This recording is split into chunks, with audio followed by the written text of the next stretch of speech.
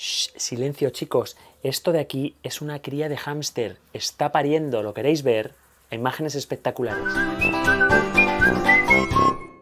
Mirad chicos, pues ya está fuera, ya está entera fuera y ahí la tenéis debajo de su mamá. Mírala, mírala. Nacen con apenas 2 gramos y como veis, completamente rosas y ciegos y completamente indefensos, dependen 100% de su madre. Mira, mira, mira, mira, está pariendo el segundo, el segundo viene ya, mira, mira, mira el segundo. Mira, mira, mira el segundo, mira el segundo. Mírale, mira la cabeza. ¿Le ves, verdad? Sí. Venga, aquí viene el segundo, fíjate, fíjate. Venga, mira cómo ella lo va limpiando. Está justo a mitad de camino. Venga, aguanta un poco, porfa, que así te ven bien. Te ven bien. Mira, mira, mira, mira, mira, mira, mira. Fuera ya. ¿Lo ves? ¿Mm? Venga, no la pongamos nerviosa, que la atienda a ella. Las hembras de hámster, el parto no es nada doloroso, no es, como en, no es como en humanos. Ellas dilatan muy bien y los cachorritos son muy pequeños y realmente la, fuerza que tiene que hacer la madre es muy poquita para que el cachorro llegue a nacer. Chicos, qué imagen más bonita. Aquí tenéis enganchada por el cordón umbilical a la segunda cría que ha nacido. Este es el cordoncito, el cordón que las une. Y aquí tenéis a la primera que nació Fíjate que con minutos de vida ya está mamando. Voy a ver si consigo apartar un poco. Mira, aparto un poco de la patita de la madre y aquí ya veis a la primera que nació que la madre ya la está permitiendo tomar leche.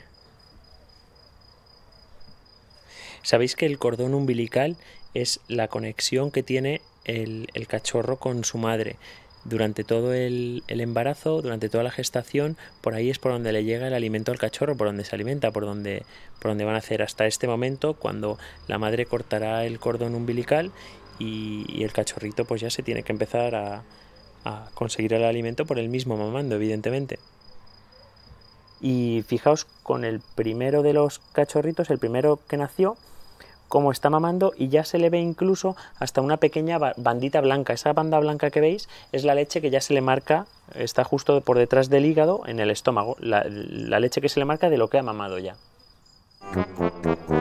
Pues llevamos más de 20 días esperando a que nieve de a luz, porque es una hámster que, bueno, pues justo cruzamos con otro macho y, bueno, estamos esperando un parto que va a ser inminente. ¿Por qué sabemos que ese parto va a empezar ahora? Pues mirad, ya tiene comportamientos, como estáis viendo, de hacer el nido. Como veis, empieza a rascar y, bueno, y empieza a preparar su lugar. En este caso, mm, aunque vosotros no debéis hacerlo, hemos sacado la cestita donde normalmente van a parir, la hemos sacado fuera para que vosotros lo podáis ver en nuestro plató.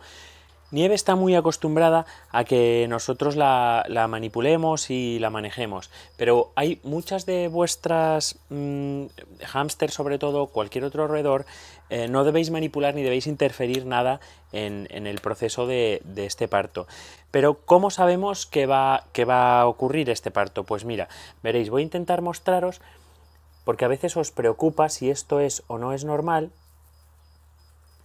veréis la zona genital se empieza a manchar de sangre en el momento en el que el parto va a ocurrir.